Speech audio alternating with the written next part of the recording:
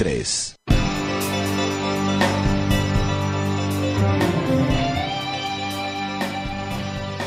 Esto es Radio Tormenta y estamos en el 1600 de amplitud modulada. También a través de Phil Comunicaciones, nuestro canal en YouTube. Estamos en Ustream. En fin, ah, oigan, y también les aviso una cosa, ¿eh? en la función para teléfonos inteligentes que se conoce como Tune In Radio, hubo alguna bronquilla ahí, este, eh, en, en anteriormente, pero ya que cree, pues ya estamos nada más y nada menos que otra vez Radio Tormenta. Está de nueva cuenta en este en TuneIn. Ahí nos puede escuchar en, en su radio. Nada más en TuneIn le da eh, clic en radio local. Después de radio local, hasta el final de toda la lista de estaciones que hay en Morelia, le da, mire, Radio Tormenta, le da clic y ya estamos ahí sonando, pero a todo lo que da con el poder de lo alto. Es bien importante. Tune in Radio. A ver, ¿cómo es? No, es así.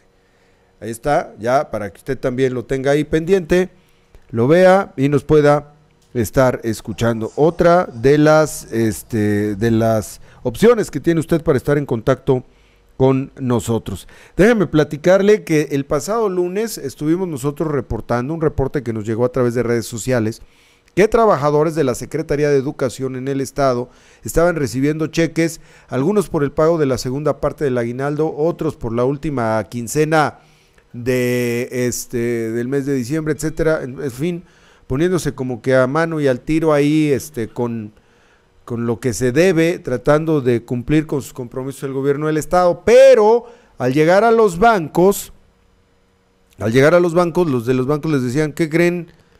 Son ligas, son de hule, son de hule, pero bueno, fíjese, una de las personas, me llama la atención, Bernardo Adrián Gorostieta Vázquez, escribió que antes de cobrar los cheques, se les informó, o sea, a los trabajadores de la Secretaría de Educación, que no tenían fondos, que hasta el día, este lunes, se realizaban las transferencias de la, de la federación. Pues si se paga, pues es porque se tiene, ¿no? Pues el día de hoy, trabajadores de la Secretaría de Educación, miembros sindicalizados de la sección 18, cerraron primero un solo carril en Avenida Aventura Puente, casi esquina con Acueducto. En esa misma este, cerraron ahí donde se encuentra la Secretaría de Finanzas, exigiendo el pago de, de sus cheques, el pago de lo que les corresponde. ¿No? Primero fue un carril. Ahí están, estamos viendo en este momento los trabajadores de la Secretaría de Educación que estuvieron reclamando el pago afuera de la Secretaría de Finanzas, cosa que pues yo no sé de dónde le quieren sacar este dinero, pero bueno, este, pues adentro de la Secretaría de Finanzas se atrincheran, es más, pueden pasar, de todos modos ahí no tienen la lana. Ese tipo de presiones, la verdad no las entiendo, pero ahí estuvieron este presente. Hace aproximadamente 45 minutos ya se informó que están cerrados todavía hasta este momento ya los dos carriles de Ventura Puente. Así que la situación se pone muy complicada.